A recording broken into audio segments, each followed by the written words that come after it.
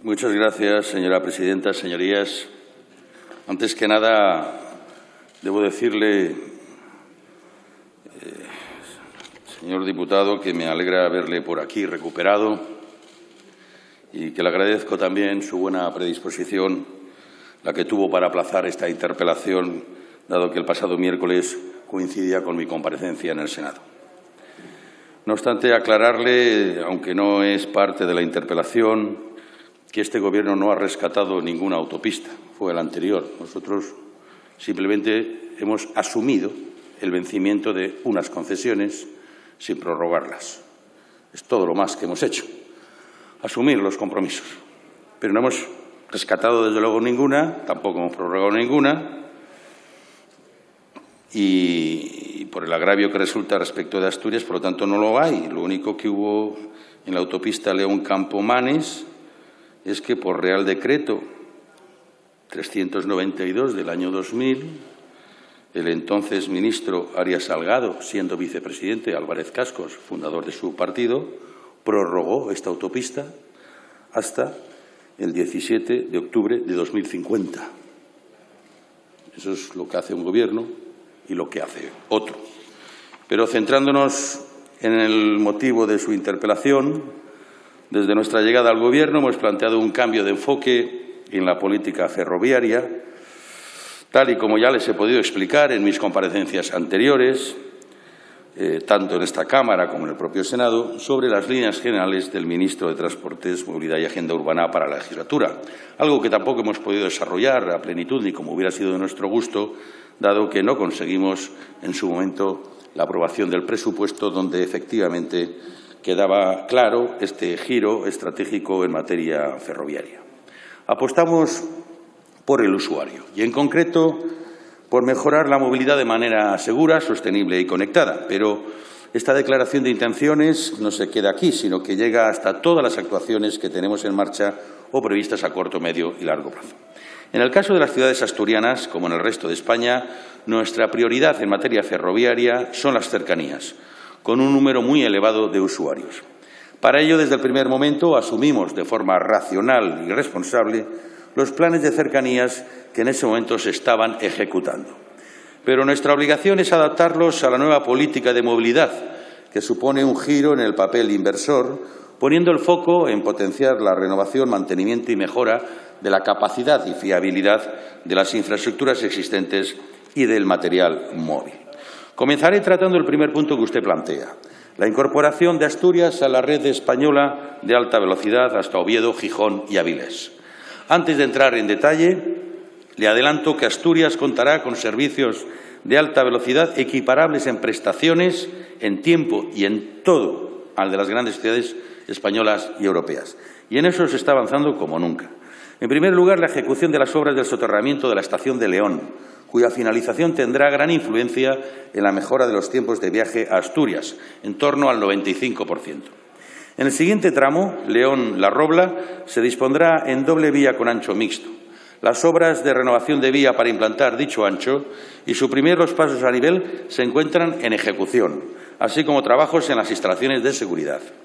A continuación, en la variante de Pajares, espectacular obra de ingeniería y de gran complejidad cuyo coste es cercano a los 4.000 millones de euros, están finalizados todos los tramos de la plataforma. El resto de actuaciones, vías, electrificación, sistemas de señalización, están en obras o con la contratación avanzada. Se ha dado una solución definitiva al esquema de ancho de vías basado en criterios técnicos. Las capacidades de tráfico necesarias de pasajeros y mercancías quedarán garantizadas por los nuevos túneles de la variante. El desarrollo de los trabajos permitirá el inicio de las pruebas en 2021. Y como muestra del impulso que estamos dando, hace justamente dos semanas adjudicamos el contrato para la ejecución de las obras civiles exteriores en la variante de Pajares con un presupuesto de más de 10 millones de euros. Para el último tramo, Pola de Elena, Ciudades Asturianas, será la estrategia indicativa para el desarrollo, renovación y mantenimiento de la red ferroviaria de interés general durante los próximos años que estamos elaborando, la que va a establecer los criterios sobre los que planificar y diseñar la finalización de los grandes corredores de alta velocidad en España, entre ellos la conexión con estas ciudades asturianas. La terminación de las actuaciones en marcha de alta velocidad y la mejora de la red existente para extender sus beneficios seguirán siendo un pilar fundamental de las inversiones en infraestructura ferroviaria. En definitiva, el llevar los servicios de alta velocidad a una determinada ciudad deberá realizarse siguiendo criterios de racionalidad, eficiencia y sostenibilidad, sobre todo en lo relativo a las infraestructuras. En cada caso habrá que adaptarse a las condicionantes y particularidades de cada corredor. Nuestras prioridades en materia ferroviaria para las principales ciudades asturianas, Oviedo, Gijón y Avilés, son coherentes con el nuevo modelo de movilidad y están alineadas con las identificadas en el Plan de Cercanías de Asturias. Y con esas premisas estamos incidiendo en las actuaciones con mayor valor añadido en las conexiones entre Oviedo, Gijón y Avilés, con el objetivo de mejorar la capacidad de la infraestructura y poder establecer nuevos servicios ferroviarios. Así estamos avanzando en la explotación del tramo de Oñoniego y el nudo ferroviario de Villabona, para lo que en septiembre del año pasado iniciamos un estudio informativo. El segundo punto de su interpelación son las conexiones en ancho estándar de los grandes puertos del Musel y Avilés. La configuración diseñada con la llegada prevista del ancho estándar hasta Campomanes evidencia el compromiso de avanzar en la unificación del ancho estándar en toda nuestra red, pero partiendo de una planificación racional, pues para alcanzar este objetivo final es obligado dotar de continuidad en los dos anchos a nuestra extensa y capilar red ferroviaria. Asimismo, las redes gestionadas por los puertos de Avilés y Gijón comprende las instalaciones ubicadas en el interior de los puertos. Ambos puertos cuentan con una red en ancho ibérico y en ancho métrico. En el momento de disponer de un calendario de puesta en servicio del ancho estándar en el corredor de mercancías que conecta con los puertos de Gijón y Avilés, incluidos los accesos a estos puertos, las autoridades portuarias estarían en condiciones de programar la dotación de ancho estándar en sus redes. En definitiva, se ha adoptado la decisión que propusieron los técnicos, que evita dejar aislados a los puertos asturianos, que no tiene ningún impacto en tiempos de viaje. Al contrario, recorta algunos minutos el viaje de vuelta, que permite tener financiación europea y que no hipoteca el futuro. Cuando la configuración general de la red en España aconseje cambiar el ancho para beneficiar a la industria y a los cargadores asturianos, se cambiará porque es traviesa polivalente. El tercero de los puntos por los que usted se interesa es el plan de cercanías, que, como usted bien dice, se aprobó por consenso entre el Gobierno del Principado y el Gobierno de España. Las cercanías, como he indicado, son uno de los pilares de nuestra política de movilidad porque, sin duda, seguiremos trabajando en el plan existente. En el plan de choque que pusimos en marcha en octubre de 2019, con ratios de inversión prevista para los próximos años muy significativas en relación con el resto de núcleos de cercanías y en la integración, que no sustitución, de todo ello en el nuevo Plan de Cercanías 2020-2025. De manera más particular, ADIF tiene actuaciones impulsadas por más de 400 millones de euros. Dentro de las mismas podemos destacar en la red de anchométrico las renovaciones de vía, la mejora de accesibilidad en la estación de Pola de Siero, sustituciones de pasos a nivel en la línea Fuso-Collanzo, el refuerzo de puentes, trincheras en la línea Gijón-Pravia, mejora de impermeabilización de túneles, eliminación de arbolado y vegetación para mejora de la visibilidad en toda la red y otros relacionados con las instalaciones de seguridad. Y en red convencional hay que destacar el proyecto de la renovación de los centros de control de tráfico centralizado en León y Oviedo, cuya obra está ya en ejecución. Además, están impulsando mejoras de plataforma, impermeabilización de túneles, mejora de la rasante de vías en tramos localizados y mejoras de instalaciones de seguridad, entre otros. Y Renfe, además de haber ejecutado ya cerca de 20 millones de euros en actuaciones de mejora de estaciones y modernización de la flota, en lo que respecta al plan de renovación de material rodante, en pocas semanas, desde luego antes de agosto, adjudicará el concurso de los trenes de ancho métrico para renovar el material de las líneas de la antigua FEBE en Asturias. En cuarto y último de los puntos de su interpelación es el correspondiente a los soterramientos y estaciones intermodales para las integraciones del ferrocarril.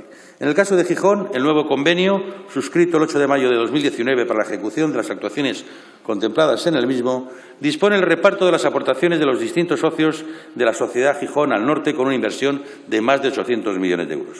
Para la nueva estación intermodal de Gijón, hace menos de una semana, el pasado jueves, publicamos en el BOE la información pública del estudio informativo para la supresión de la barrera ferroviaria en Gijón. Tal y como he indicado en ocasiones anteriores, la voluntad del Ministerio es trabajar desde el acuerdo con las administraciones competentes para la integración en Gijón.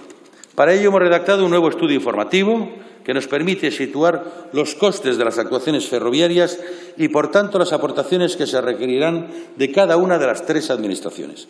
El estudio informativo redactado plantea dos alternativas la solución Moreda y la solución Museo del Ferrocarril. Entendemos que se trata de un proyecto de futuro y una oportunidad no solo para Gijón, sino para Asturias, de contar con un enclave central en el que el ferrocarril contribuirá de manera importante a hacer ciudad y a mejorar la movilidad urbana e interurbana. No le quepa la menor duda de que se tomará la mejor solución atendiendo a los riesgos, la funcionalidad, el coste, el medio ambiente y el plazo. Con independencia del estudio informativo antes comentado, ADIF va a redactar los proyectos y ejecutará las obras necesarias para la puesta en servicio del metrotren desde el pozo de extracción hasta Cabueñes, con un trazado totalmente soterrado. Los proyectos que actualmente ADIF eh, ya tiene en redacción son los siguientes.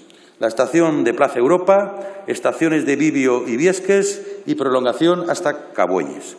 En cuanto a Avilés, seguimos redactando el estudio informativo con un contrato que se firmó en julio de 2019 y cuenta con un plazo de redacción de 24 meses. Langreo. Por último, para el soterramiento de la línea de, de red de ancho métrico en Langreo, nuestro compromiso es el de hacernos cargo, a través de ADIF, de la obra de superestructura sobre la obra de infraestructura ejecutada por el Principado. Incluye la redacción y aprobación de los proyectos y posterior licitación de las obras. En la actualidad, los proyectos constructivos de la superestructura se encuentran aprobados y nuestro deseo sería el que, una vez superadas las trabas administrativas, eh, precisamente, hoy tengo entendido que el proyecto va al Pleno del Ayuntamiento, eh, pues podamos comenzar las obras lo antes posible. Eh, concluyo. Desde el Ministerio estamos haciendo un esfuerzo sin precedentes para modernizar la infraestructura y los servicios ferroviarios de Asturias y así queremos continuar. Muchas gracias, señorías.